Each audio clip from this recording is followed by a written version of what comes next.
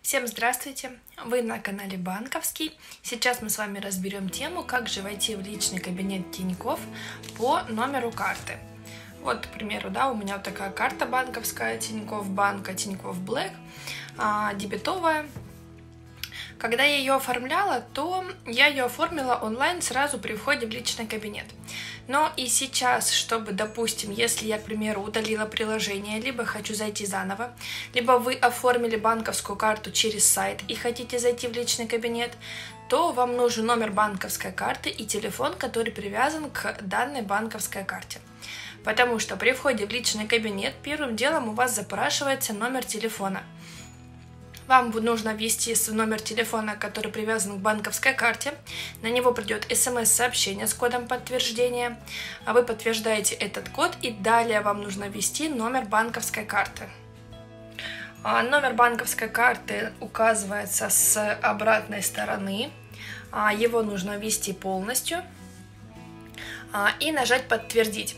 Далее у вас запрос будет на то, чтобы установить, э, к примеру, э, пароль, если вам нужно будет, либо можете ввести, а, если это в приложении, то короткий код для входа в личный кабинет. И тогда там у вас в приложении уже в дальнейшем не нужно будет каждый раз вводить номер банковской карты.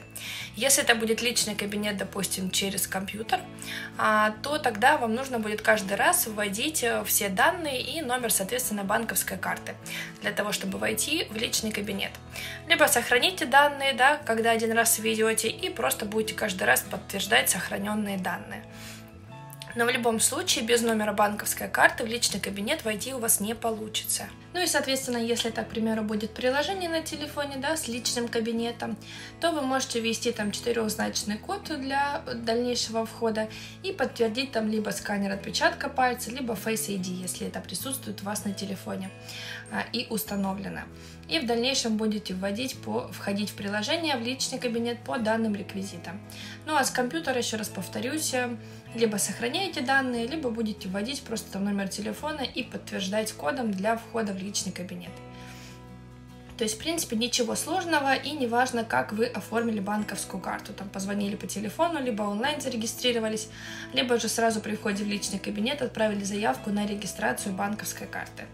А, она у вас будет уже действовать, и вы можете сразу же войти в личный кабинет, уже не имея еще даже банковской карты, а просто указав, что у вас нет банковской карты, и вы можете сразу зарегистрировать ее и потом получить. Так что, в принципе, ничего сложного, просто нужна вам банковская карта и номер телефона, который привязан к этой карте, для того, чтобы войти в личный кабинет.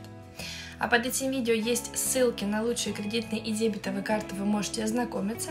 А это видео было снято специально для канала Банковский. Не забывайте ставить ваши лайки, писать комментарии, если вы с чем-то не согласны или как-то вы делаете это по-другому. И подписывайтесь на наш канал. Всем до новых встреч!